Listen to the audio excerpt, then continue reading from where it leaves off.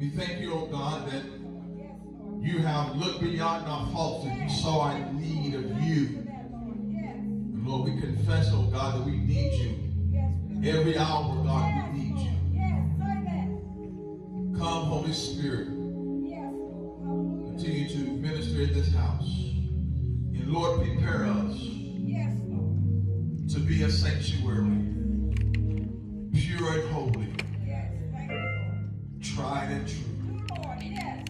And Lord, with thanksgiving, we'll be a living sanctuary for you. Lord, take the words of my mouth, the meditations of my heart. Make them acceptable in your sight. For Lord, you are my strength and my redeemer.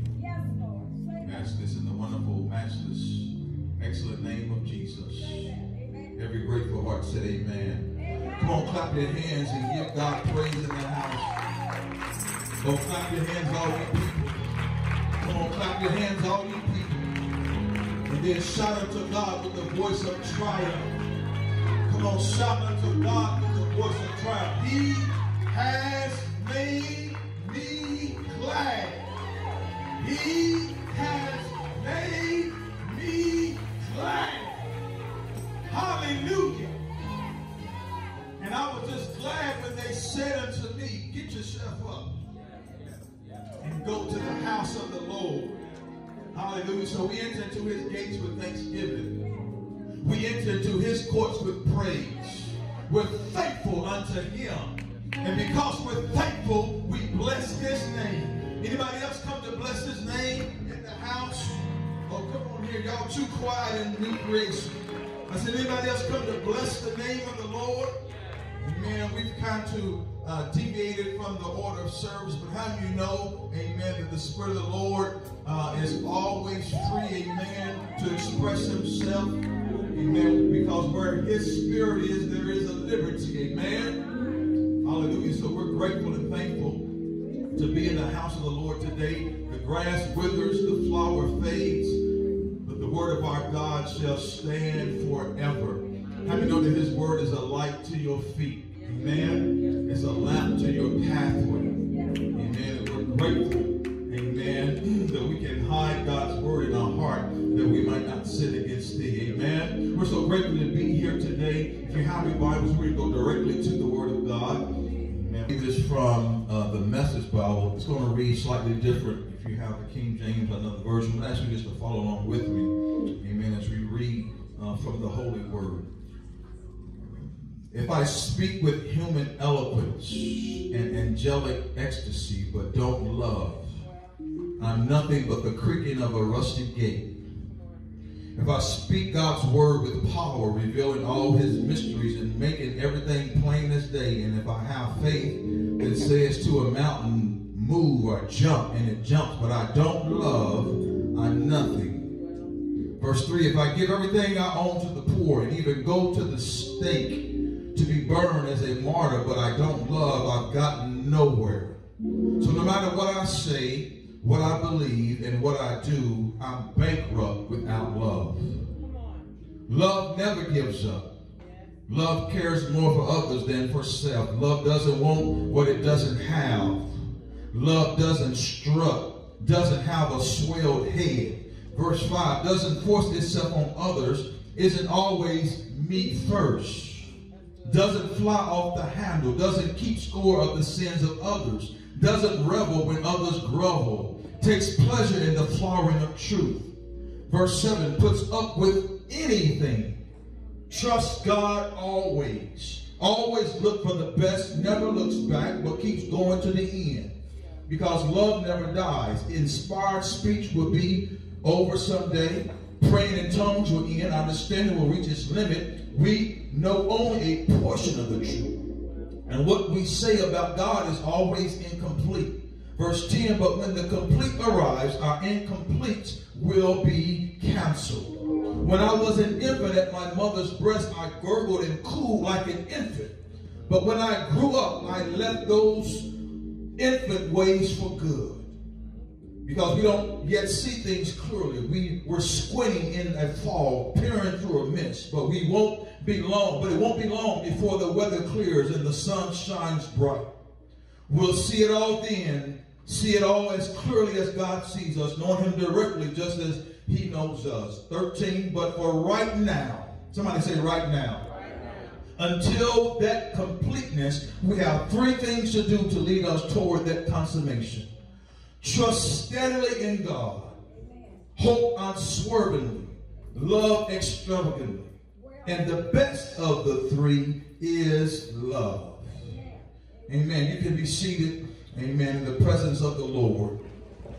1 Corinthians chapter 13, verse 13 from the King James says, And now abideth faith, hope, charity.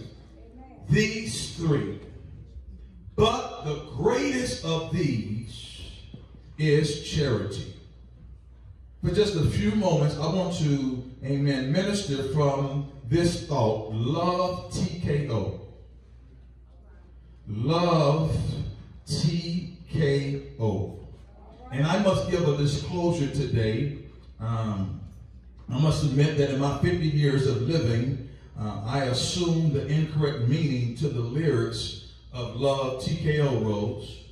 I, I, I must admit, um, I always assumed and thought that when I would occasionally hear uh, that song on, on uh, the radio that uh, was originally uh, written by Cecil Womack and Gip Noble, uh, but mainly associated with R&B and soul artist Teddy Pendergrass. Mm-hmm. Upon listening to the song, I would foolishly think that Teddy P was singing about a love that would really be a total knockout. I had no idea up to just a few weeks ago uh, what TKO really stood for. I was like, Lord, have mercy. How foolish am I to think that uh, in the song he said, looking back over my years, I guess I shed some tears. Told myself time and time again, this time I'm going to win. But another fight, things ain't right. I'm losing and I'm losing again. Takes a fool to lose twice and start all over again.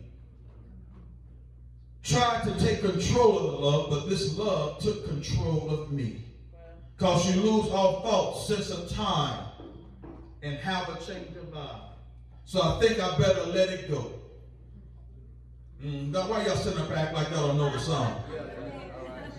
Huh? Why y'all sitting up there? What you say about it? Looks like another love. All right. I got a few people in here that can testify. Love took control of me. Love took control. And if we would be honest and real with ourselves, and just really keep it 100 today, many can relate to the lyrics uh, in this song as it describes our current situation, not with a spouse, not with a lover, not with a significant other, but in our relationship with God. Mm-hmm. So many have, listen, let him go. So many today have let God go and embrace the love of idols and embrace the love of things and trinkets, the love of money and so many other things that distract our attention and our affection toward Him. So many folks today are flocking and have flocked to church today and they're having church but not knowing and loving God. So many today, saints of God, are playing church and not taking God seriously. They have a love TKO, which means they are guided and they are controlled by their carnality. Mm-hmm. Their infatuation and love of the world. My God, you understand the word of God declares, amen, that we're not to love the world. Amen. Look what the word of God says in First John said, My little children, I write unto you uh, that ye sin not. And if any man sin, you have an advocate with the Father. He said, I write unto you. Uh, he said in verse 15 of First John, uh, he said, Love not the world, neither the things that are in the world. Mm-hmm. If any man love the world, the love, listen, the love of God is not in him. Well, what's in the word, preacher? What's in the world, preacher? Verse 15, for all that is in the world, the lust of the flesh, the lust of the eyes, and the pride of life uh, is not of the Father, but is of the world. Mm. He said you got to stop loving evil. Y'all was shouting just a minute ago. Because in our society today, the greatest desire, man, uh, is not to be wealthy. A lot of people aspire to want more, but that's not the greatest desire in our society today, the greatest desire is not to be famous. I know uh, we put people on pedestals and, and, and we uh, long to be famous. Uh, it's not to be popular. It's not to be happy. It's not to be successful as much as people gravitate to that. The greatest longing and desire in this world is simply to be loved. Because years ago, uh, someone popularized a song that says, What we really need it's not popularity, not more money, man, not success, not fame, but what the world needs is love. Mm-hmm. Because so many are existing without the knowledge of God, without knowing that He loves them, my God. And not only that He loves them, listen, but God loves you and I with an everlasting love. His love is not conditional. Jeremiah 31 says, The Lord hath appeared of old unto me, saying, Yea, I have loved thee with an everlasting love. Therefore, with loving kindness have I drawn thee. Uh, how many of you can uh, uh, uh testify and express, amen, that when you wasn't thinking about him, his loving kindness drew you?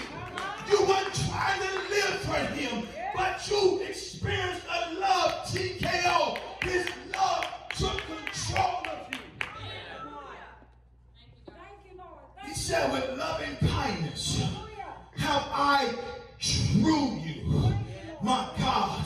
Oh, yes. So most of you know that in just a few days, in just a few days, thousands of cards and uh, IMs and text messages and social media posts and roses and sweet chocolates and a plethora of other goodies uh, will be exchanged to express uh, love to some significant other.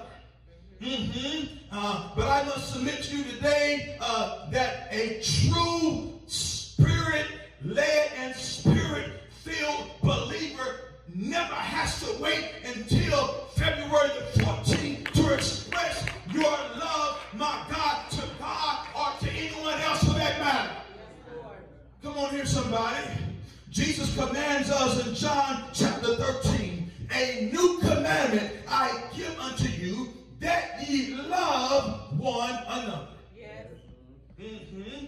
As I have loved you that she also uh, love because Jesus said, because I love you, you're able to love one another. He said, by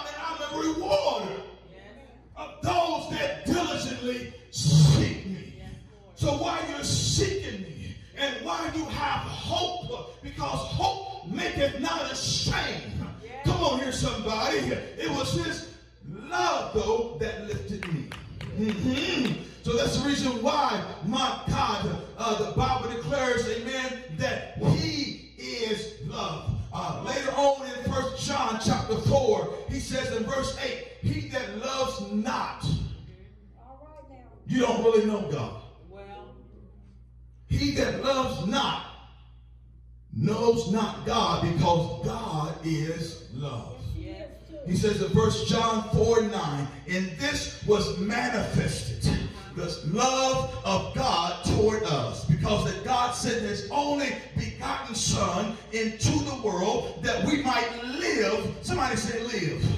That I might live through him.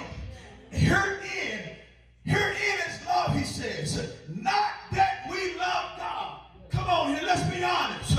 Let's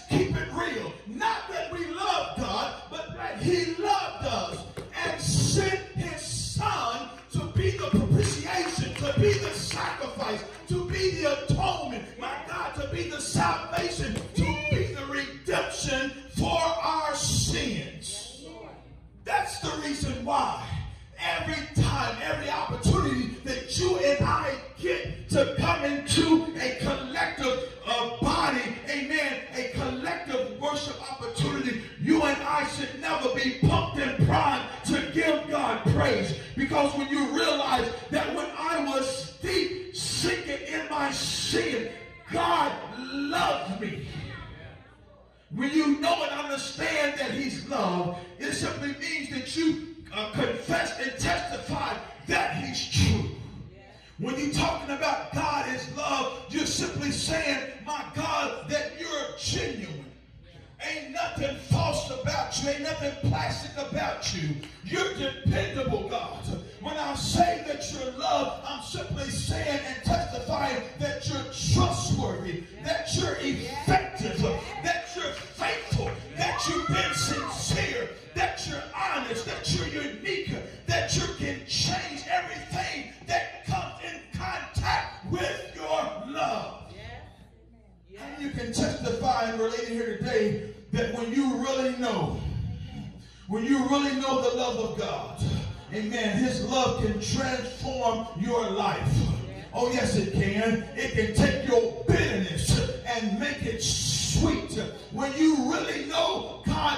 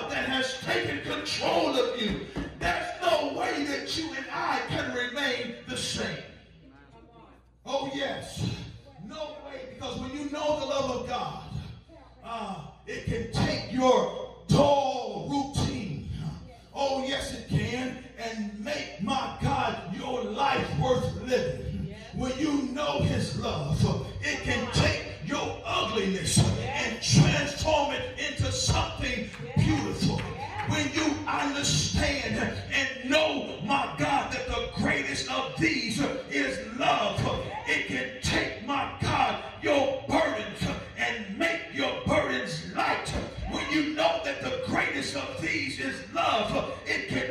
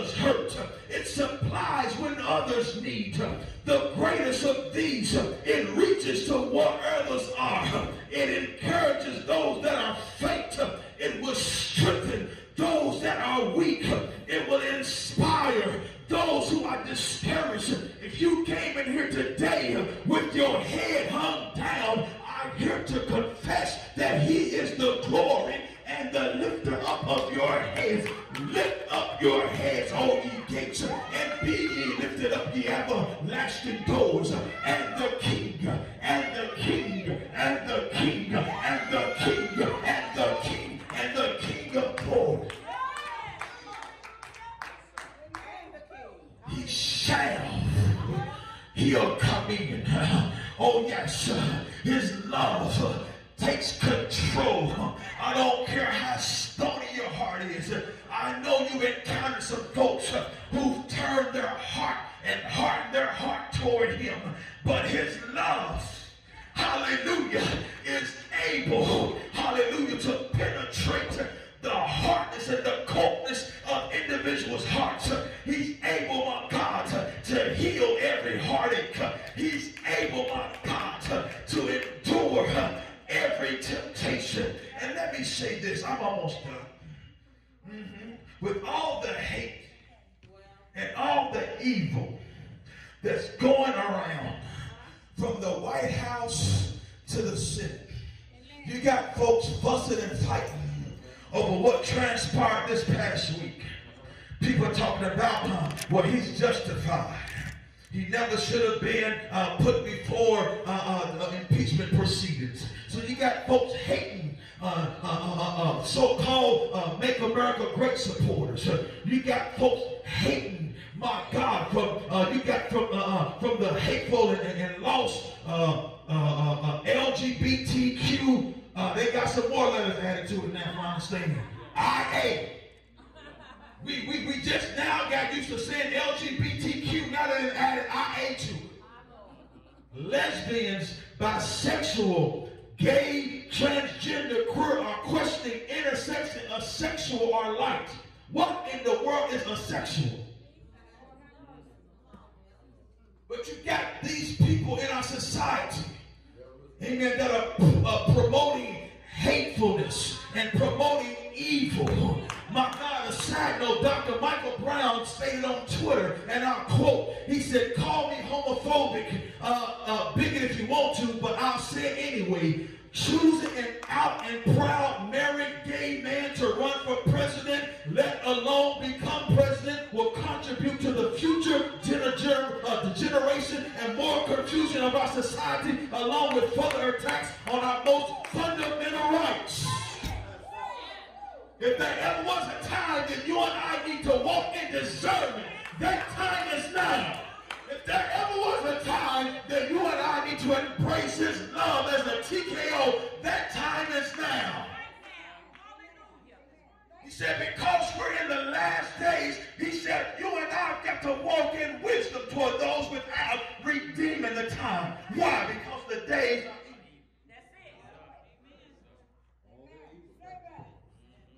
hmm. because there's no better time. We got folks fussing and fighting about what Gayle King says. Who cares what Gayle King says? She's doing her job.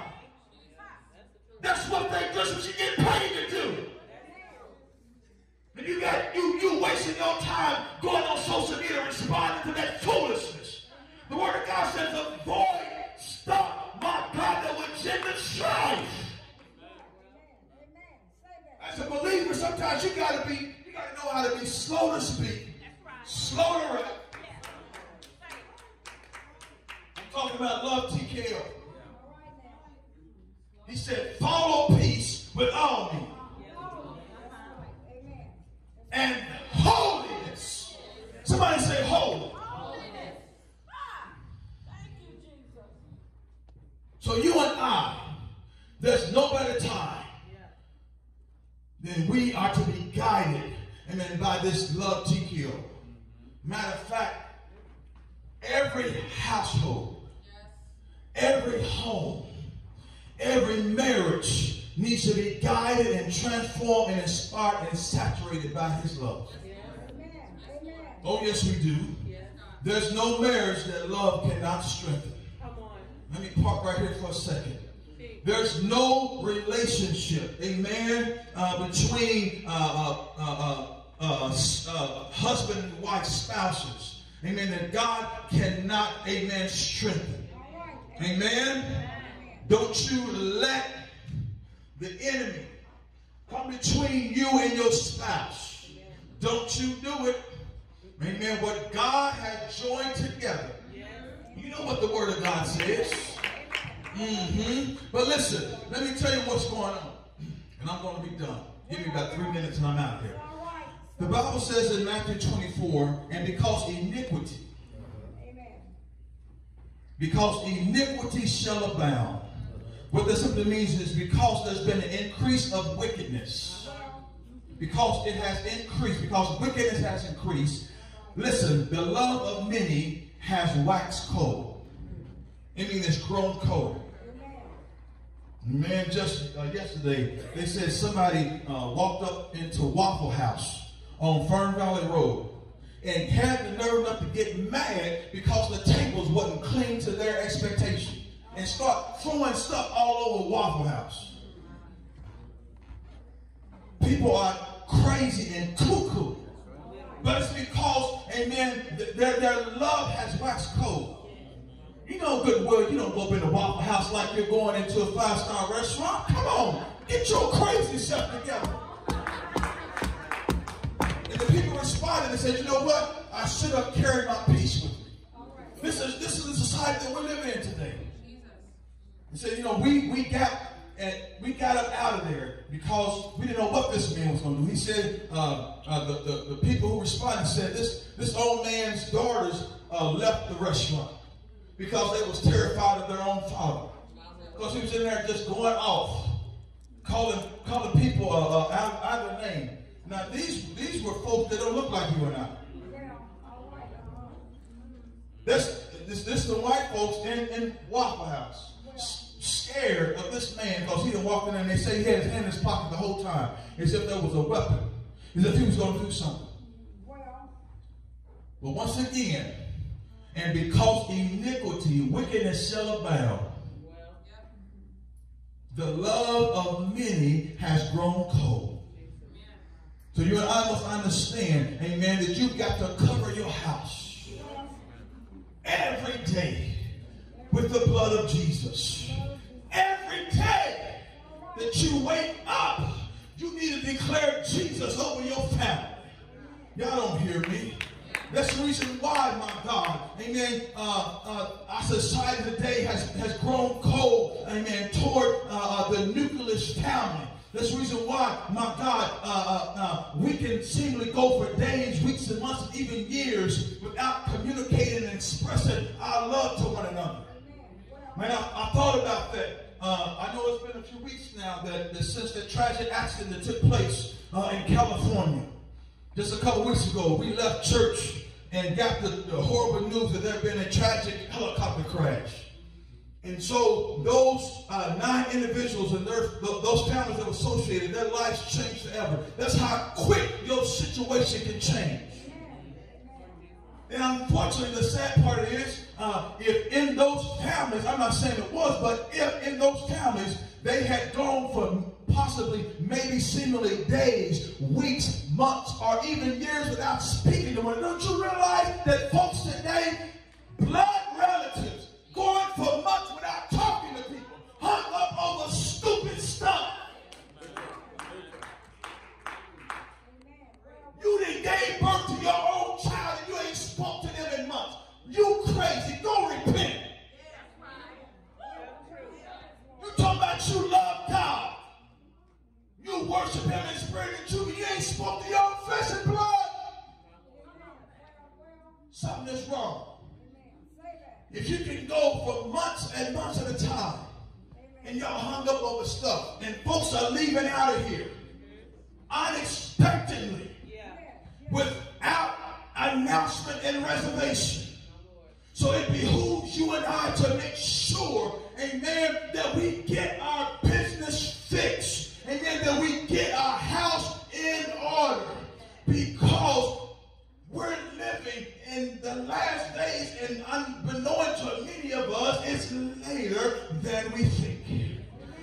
submit to you that too many folks today are living life without knowing this true love and how this love comes, my God, from Jesus Christ.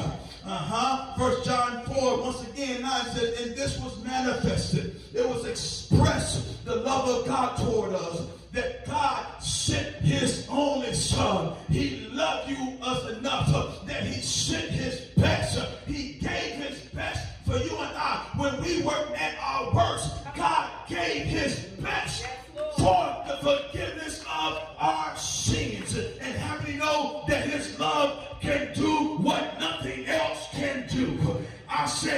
God's love can do what nothing else can do.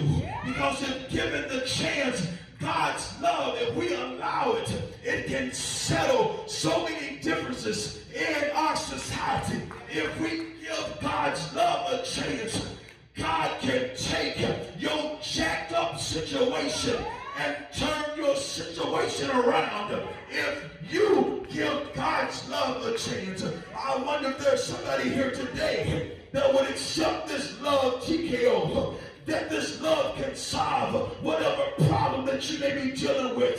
This love, my God, can prevent a lot of frustrations that people are dealing with today.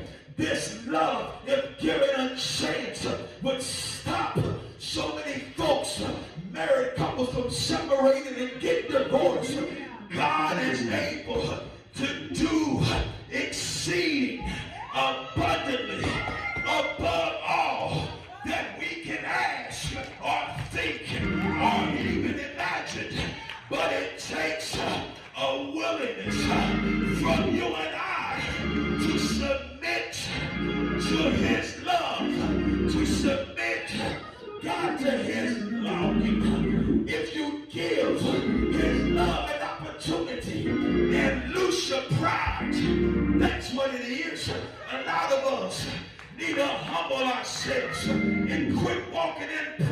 pride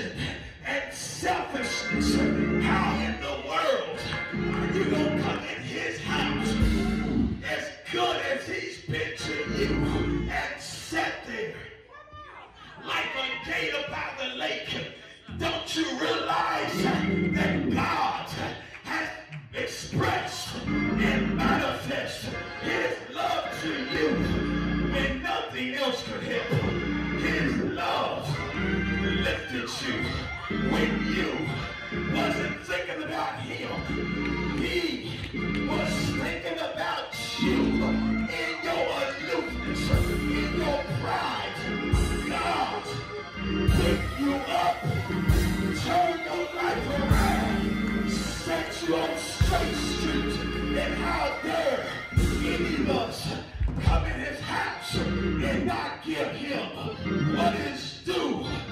Come on, somebody, and now, abiding faith, hope, charity, these three, but the greatest, the greatest of these is charity. God, Father, we thank you for what our hearts have received, what our ears have heard. Father, I pray that in the name of Jesus, Lord, that we would not be forgetful hearers, but make us doers of your holy word. God, I pray right now, God, whatever mountain we may be dealing with, Lord, as the man of God had mentioned, God, we pray, God, by your word, God, that we um, would continue not to just to move around the mountain, that we would speak to that mountain and cause it to be removed in the name of Jesus. We thank you, God, for what you're doing in this ministry, what you're doing, God, in the life of your people. God, we realize that nothing happens by happenstance. Nothing just happens. So, Father, we pray, oh God, you continue to lead us and to guide us. We pray, God, your blessings upon the food and the fellowship at the lower level. We thank you, God, for those who've prepared it and those who've labored. We thank you, Lord, that our labor is not in vain in the Lord. And God, as we leave this place and we go back to our home, Father, we pray that we will find things better than they were before we left. So we speak the blessing of the Lord upon your people. We pray, oh God, in the name of Jesus, this will be the best week, Lord, that we ever had this year. We speak blessings upon your people. God, we pray, God, we will walk, God, in favor with you and with man. And we'll be careful to give you the praise, the honor, and all the glory for it belongs to you. Jesus' name, every grateful heart said amen. We love you.